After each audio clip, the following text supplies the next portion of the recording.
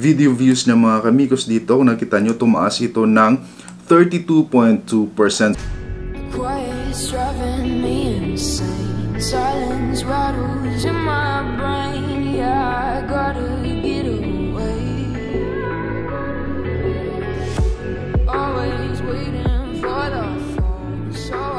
Hello mga kamikos, kamusta kayong lahat? Sana nasa okay lang tayo ng kalagayan at mag-ingat tayo kasi marami ang nangyayari na kung ano-ano sa mundo. So bago ang lahat mga kamikos, huwag niyo munang kalimutan na isubscribe mga aking channel. Always click the bell notification para ma-notify kayo pag meron akong bagong i-upload, i-review or gagawing content sa aking channel. So mga kamikos, medyo matagal-tagal tayong hindi nakapag-gawa ng content dahil nga nasa bakasyon ako. So yung review natin na sound ngayon ay yung latest estimated earnings ni Bunso or ni Migs Molino. So kakamustahin natin yung channel ni Bunso and by the way, kamusta pala lahat ng mga kabunsuan, lahat na sumusuporta kay Migs Molino and nagbabalik tayo ngayon. So yung review na ito is just an estimated earnings and yung site na pinagkukunan natin is public, that is Social Blade site. Ang Social Blade site ay isang public site na kung saan pwede matignan and makita kung magkano nga ba yung estimated earnings ng isang YouTuber, maliit na YouTuber man or malaking YouTuber sa Pilipinas man or outside of the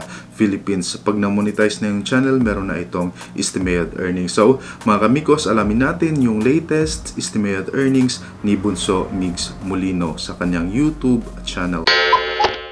Okay mga kamikos, andito tayo ngayon sa Social Blade site or sa public analytics ni Bunso. Kung makita dito mga kamikos, meron na siyang uploads ng more than 172 uploads and subscribers niya is 1.68 million subscribers and total video views, nag-gain na siya ng more than 155 million 825,373 total video views or kabuang video views na uh, nag-gain niya sa buong video na in-upload niya sa kanyang YouTube channel. So, mga kamikos, hindi na natin tutignan yung country, channel type, and user created kasi nakita naman sa screen and flash naman sa screen.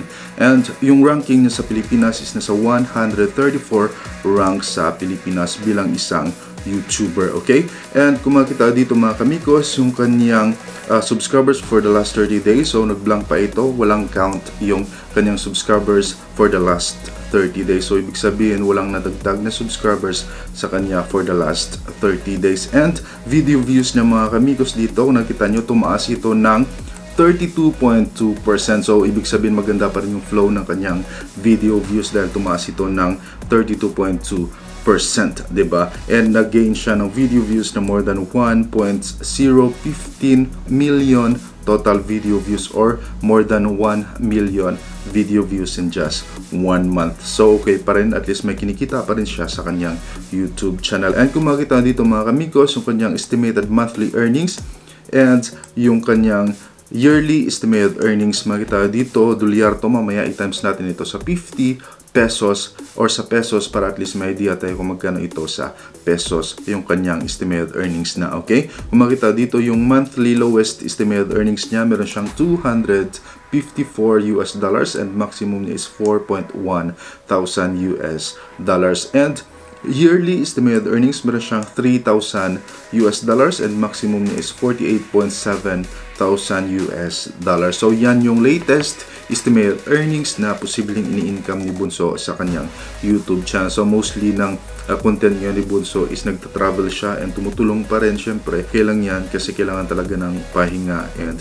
kailangan niya din naman na magbakasyon. Kagaya ako nagbakasyon ako and nag-stop muna ako sa pagbablog. Sabi ko magbablog ako doon sa Pilipinas. Pagdating ko kasi para at least makita nyo yung lugar namin doon sa Pilipinas. Pero pagdating doon is hindi ko na nagawang mag-vlog kasi nga uh, most, most probably or kailangan kong magpahinga. Yun yung iniisip ko kaya iwas muna ako sa social media at that time, okay? Pero ngayon is nagbabalik na tayo. So tignan natin yung kanyang daily estimated earnings, kung magkano na nga ba yung potential earnings niya daily and kung ilang views daily and kung may subscribers nga ba, kung nagsiro nga ba yung subscribers niya daily, okay? So mga kamikos, nakita dito yung date, subscribers, video views, and estimated earnings niya. Makikita dito yung subscribers niya, so walang nadagdag sa kanya na subscribers daily. And kung makita nyo yung video views niya, so bumaba talaga yung video views niya, pero at least nagwa 1 million views pa rin siya monthly. So medyo okay pa rin yung income niya, at least hindi lang ito yung pag-YouTube, yung yung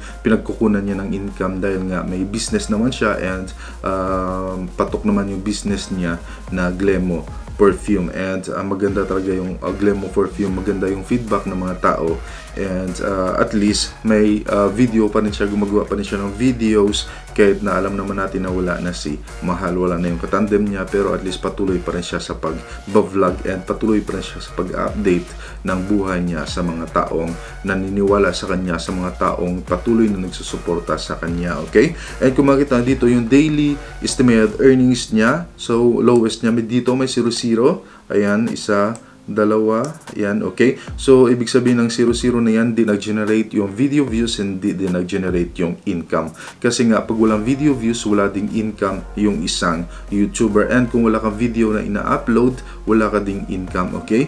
And yung kanyang highest daily estimated earnings dito mga kamikos, meron siyang 20 US dollars and maximum niya is 326 US dollars. Kinita niya ito noong January 15. So, medyo, medyo uh, or hindi medyo malaki talaga ang agwat ng kinikita niya before than uh, ngayon, 'di ba? So ngayon is medyo bumababa yung kanyang income. Siguro mapupull out niya pa rin yung sarili niya and uh, gumawa ng content. So actually ito is yung mga content niya is ginagawa niya na lang for update and uh, sa mga taong naniniwala sa kanya na uh, patuloy na sumusuporta sa kanya yung mga uh, ginagawa niyang mga video. So ayan na siguro pinapa-show off niya pa rin or gumagawa pa rin siya ng uh, video sa YouTube okay? And tignan natin yung kanyang daily average weekly average and monthly average sa kabuuang income na arawan weekly and monthly okay So kung makikita dito mga kamikos, meron siyang average or daily average sa lowest na 8 US dollars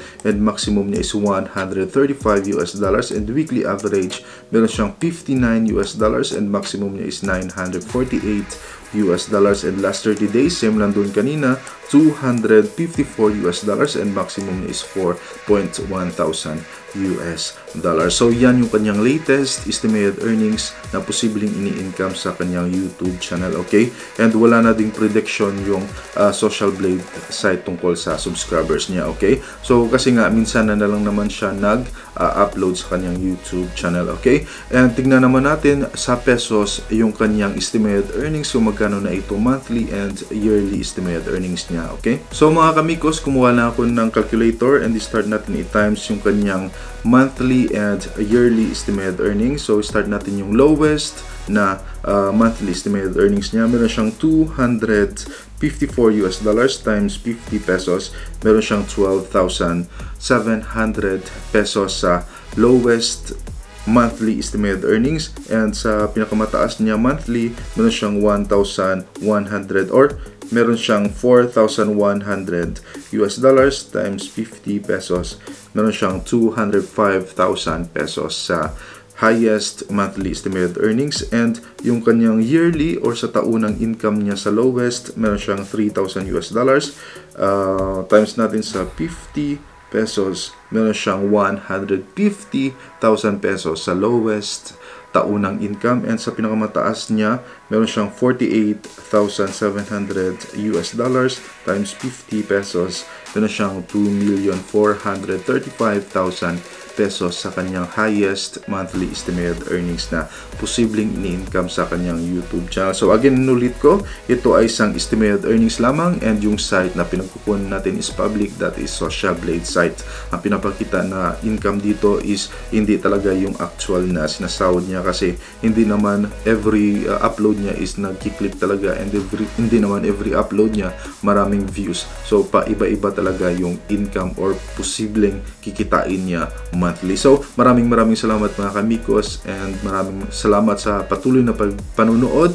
And again, nagbabalik tayo sa pagbablog. So, kung meron kayong gustong i-recommend na i-review or i-react, so comment down below. I-react natin yan sa next nating video. So, by the way, thank you for watching again. Maraming maraming salamat sa pag-suporta. So, God bless us all at peace. Yo!